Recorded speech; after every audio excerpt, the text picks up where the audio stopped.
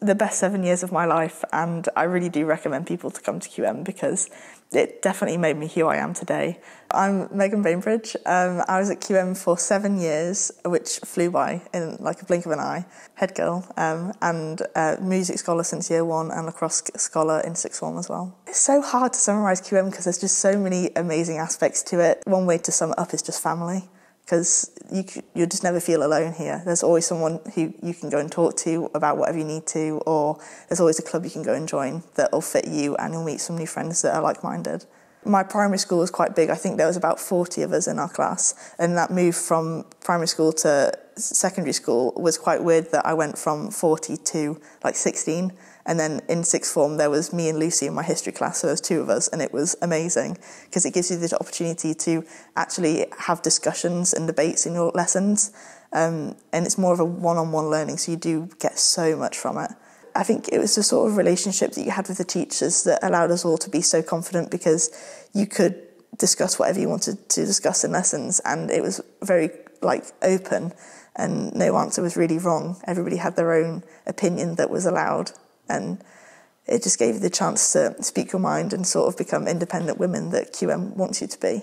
All the different instruments you can play here, all the different sports, there's just so many opportunities to find what is actually unique to you and what your sort of niche is. Because nobody is the same, especially at QM. Everybody is so different, and I've loved that everyone's nurtured so they can be themselves. It's just such a good environment for you to find who you truly are. You can just like shine as brightly as you want to, and nobody's going to shame you for it.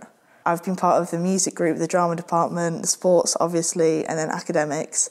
And the music department has been like the majority of my family at QM for seven years because I got my trumpet scholarship in year one, um, and they completely transformed who I was as a person and as a player. Orchestra and wind band and the Lost Socks that I was part of are one of the closest families I've got at QM because they're just like my sisters, the girls especially in Lost Socks. I think the benefit of it being an all girls school is that you don't have to worry about putting makeup on for like three hours in the morning or worry about who's got a crush on who. You can literally just be yourself and there's no bitterness between anyone. It's just such a lovely environment to be in.